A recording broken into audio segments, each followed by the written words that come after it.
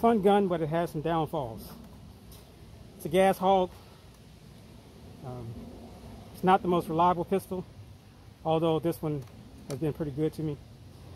Um, the sights are off, the rear sights are off, so it shoots about, I don't know, two and a half inches to the right. And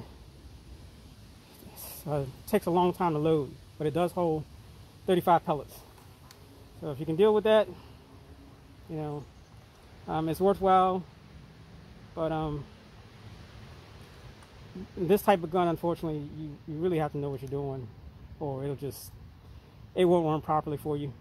Um, I had a lot of issues in the beginning, but um, I basically did a minor disassembly and greased it up, put it back together, and so far I can't complain, other than the sights being off. Um, thought about maybe dremeling off this back portion here and then taking another sight, put an adjustable sight and mounting it to it, but I really don't think this gun is worth it. Um, but other than that, not too bad.